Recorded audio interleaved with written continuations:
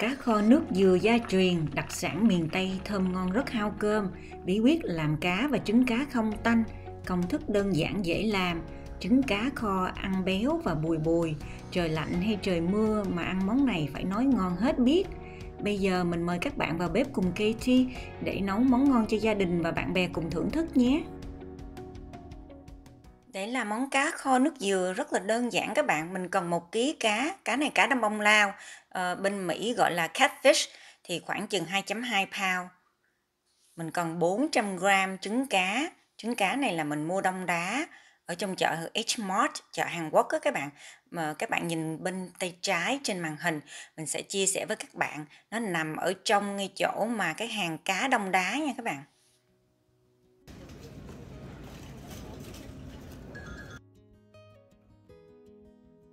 Mình cần hai muỗng canh nước màu. Nước màu này Katie đã chia sẻ cách làm nước màu ở nhà rồi. Bạn nào chưa xem á, thì nhìn link ở dưới phần video. Mình sẽ để cái link ở dưới đó nha. Mình thắng một hũ vậy mình dùng cả năm và không cần để tủ lạnh để ngoài thôi. Cần hai muỗng canh. 1 phần 3 cup hay là 1 phần 3 chén nước mắm, nước mắm tùy loại bạn dùng. Thì hôm nay Katie dùng nước mắm này á, là dùng 1 phần 3 cup tương đương với lại 85ml nước dừa lon hay là nước dừa tươi như thế này nè các bạn. Đây, nước dừa này thì mình chỉ cần khoảng một cup thôi. Một cup nước dừa tương đương với là 250ml mình còn hai muỗng cà phê đường tương đương với 10 gram một muỗng cà phê bột súp gà tương đương với lại 6 gram và cái đầu hành lá khoảng chừng là 8 cộng đầu hành lá. Và bây giờ mình bắt đầu vào bếp nha. Bây giờ mình sẽ đi rửa cá. Trước hết là mình sẽ cho vào đây một chén giấm. Một muỗng canh muối. Mình quậy cho đều lên. Khi muối tan rồi đó, mình cho nước vào đây.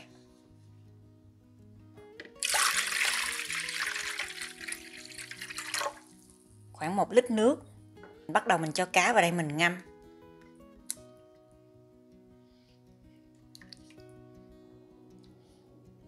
Mình để đây và mình ngâm đúng 20 phút. Cái đến mình cũng làm với trứng cá giống như vậy. Mình cũng cho giấm vào đây. Mình cho 3 muỗng canh giấm, 2 muỗng cà phê muối. Mình quậy cho muối nó tan. Và mình cho khoảng chừng một chén nước vào đây. Mình cho trứng cá vào và mình ngâm khoảng 20 phút. Mình ngâm như vậy cho nó ngập nước luôn nha các bạn. Sau khi mình ngâm cá được 20 phút rồi nè, mình đem ra và mình rửa sạch. Như vậy là cá của mình nó sẽ không có bị tanh. Cá mình mua ở Nam Cali á các bạn, thì người ta làm cái ờ, da cá nó trắng bóc như thế này nè. Cho nên mình về mình không có cần phải làm gì nhiều hết. Nếu mà còn đen á, thì mình cạo cho nó sạch thôi.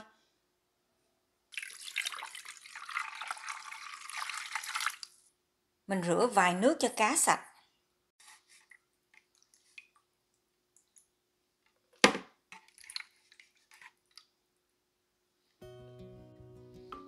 và trứng cá mình cũng làm giống như vậy mình cũng rửa vài nước cho sạch. Kế đến mình sẽ đi ướp cá.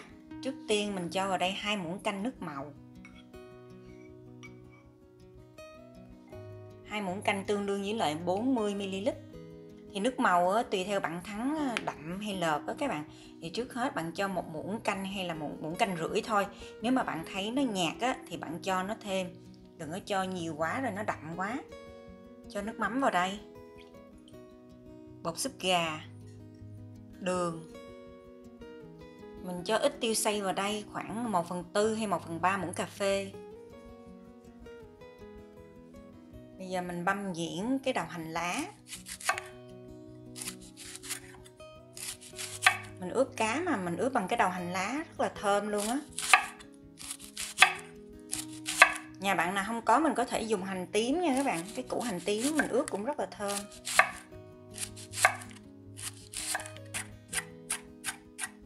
Đầu hành lá này khi mà mình băm ra là mình cần tổng cộng khoảng 2 muỗng canh. Cái đó mình cho hành lá vào.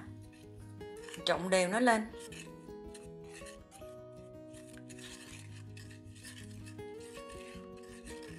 Cá mình rửa sạch xong thì mình phải lấy cái khăn giấy mình chặn cho nó ráo nước trước khi mình ướp nha.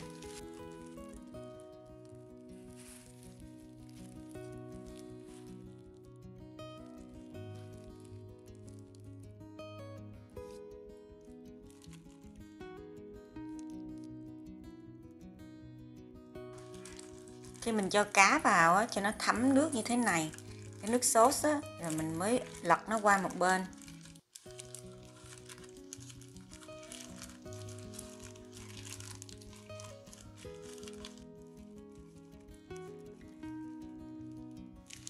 Và bây giờ mình để đây mình ướp khoảng chừng một tiếng. Nếu như bạn nào mà có thời gian mình có thể ướp cách đêm là nó sẽ ngon nhất.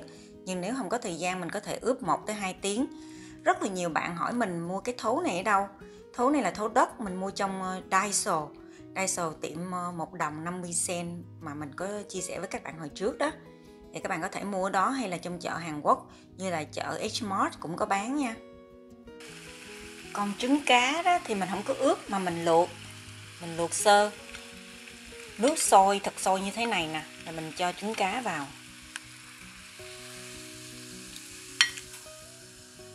Cách hôm nay Katie chia sẻ là làm thế nào mình kho cái trứng cá này nó không có bị tanh nha các bạn.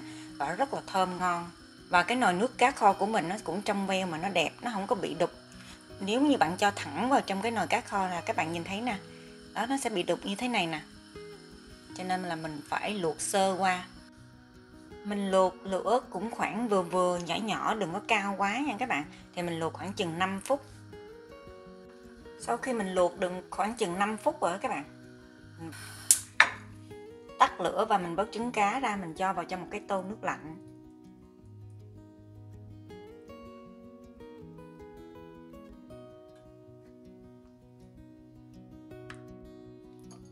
Sau khi mình ướp cá được khoảng một tiếng rưỡi rồi đó mình cho vào đây một muỗng canh dầu ăn. Nhà bạn nào mà có làm hành phi thì giữ cái dầu đó lại. Cái dầu đó mình kho cá rất là thơm luôn.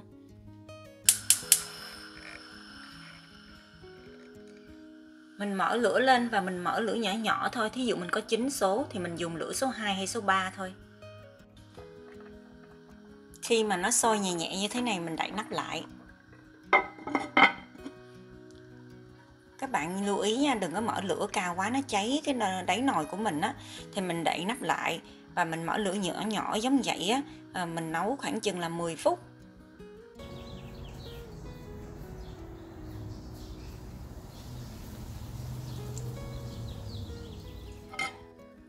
Sau 10 phút á, mình mở nắp ra.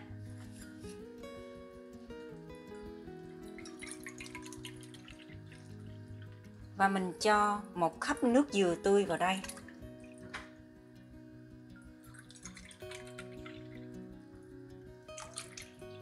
Bây giờ mình có nước dừa vô đây rồi, cho nên mình sẽ à, đậy nắp lại và mình mở lửa cao hơn chút. Hồi nãy mình mở lửa số 2 thì bây giờ mình lấy lửa số 3 hay số 4 để cho nó sôi lên. Và mình kho thêm khoảng chừng 10 phút nữa.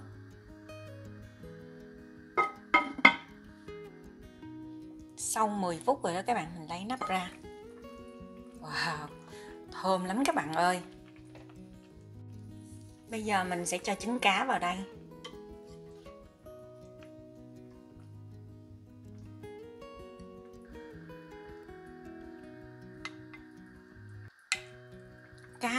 Lúc đầu 10 phút á các bạn thì cá chưa có chín đâu lúc mình đậy nắp 10 phút đầu tiên á tại vì mình mở lửa rất là nhỏ nó chỉ sôi lăn tăng nhẹ nhẹ thôi. Thì sau khi 10 phút mà mình đậy nắp rồi mình mở ra mình cho nước dừa vào á thì mình mở lửa ờ, cao cao lên. Số 3 số 4 mình đậy nắp lại mình nấu 10 phút nữa. Cho nên bây giờ là cá nó chín rồi nhưng mà nếu mà mình muốn cho nó thấm á, thì mình kho thêm chút nữa. Còn cái trứng cá đó mình luộc 5 phút có cái trứng cá này to lắm cho nên là 5 phút nó chưa chín lắm đâu. Bây giờ mình cho vào đây và mình nấu thêm 5 phút nữa. Là trứng cá nó sẽ chín và cá nó cũng là thấm hơn rồi đó. Rất là ngon luôn. Bây giờ mình đợi thêm 5 phút nữa nha. Kế đến đó, đây là một trong những bí quyết mà mình kho cá kho thịt mà muốn cho cái màu nó đẹp hơn nữa thì mình cho vào đây một muỗng cà phê gấp bột. Bạn không có gấp bột cũng không sao nhưng mà tại vì á gấc nó rất là tốt cho sức khỏe cho nên là những món ăn khi thi nấu thường thường khi thi hay cho gấc bột vào lắm. Để ăn nó các bạn biết rồi đó gấc nó trị rất là nhiều bệnh. Ờ, trong đó người ta có nói về cái bệnh ung thư nữa các bạn. Thì mình cho vào đây mỗi lần ăn uống rồi đó. Ờ, uống nước làm sinh tố mình cũng cho gấc vào luôn các bạn. Thì bạn nào không có không sao nha. Đó thì cái màu cá của mình nó sẽ nó lên cái một cái màu nó hơi hơi đỏ đỏ nhìn nó đẹp lắm các bạn rồi bây giờ sau 5 phút rồi các bạn mình tắt lửa và mình cho hành lá vào. Nếu như bạn ăn hành lá à, hay là cho ớt vào.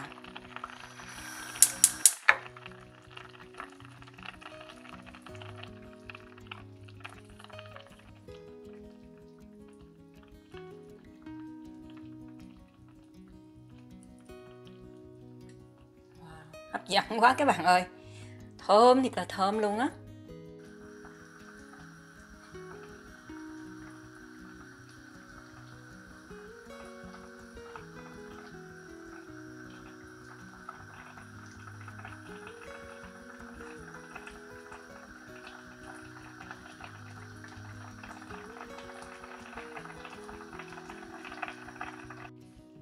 Ta-da! Và đây là thành phẩm của mình đi các bạn ơi.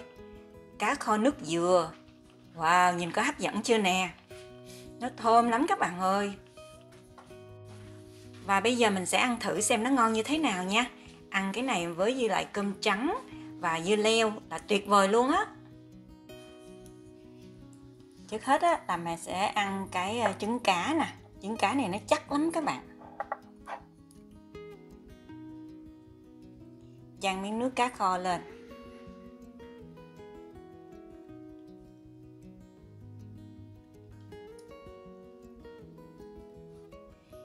Mời các bạn nha. Miếng leo nữa.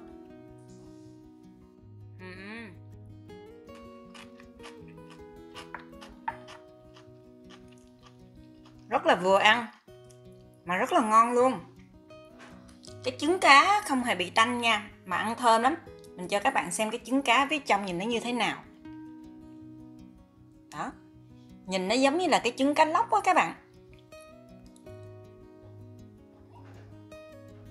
Nhưng mà trứng cá lóc á thì nó sẽ nhỏ hơn, cái size nhỏ hơn. Wow, ngon quá. Cái đấy mình ăn cá.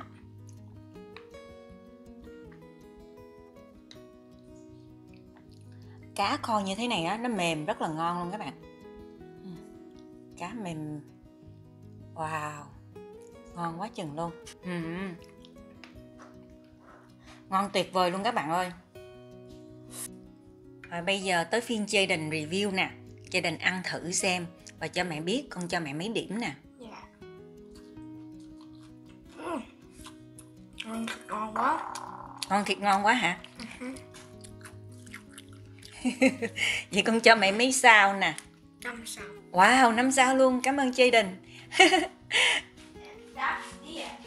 Wow cái này á mình kho uh, cái bí quyết là cái ớt này nó không có cay. Tại cái ớt này giống như là loại của Hàn Quốc á uh, làm không có cay. Nhìn nó giống như là màu vậy thôi nhưng mà không cay nha các bạn. Rất là ngon luôn mà nó thơm lắm các bạn ơi. Wow ngon quá mẹ ơi. Cảm ơn Jaden.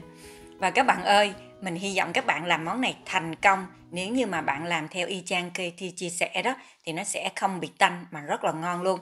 Mình à, mến chúc các bạn làm thành công và ăn ngon miệng nha. Tạm thời chia tay các bạn ở đây, mình phải đi ăn tiếp với Jaden đây. Cảm ơn các bạn nhiều lắm.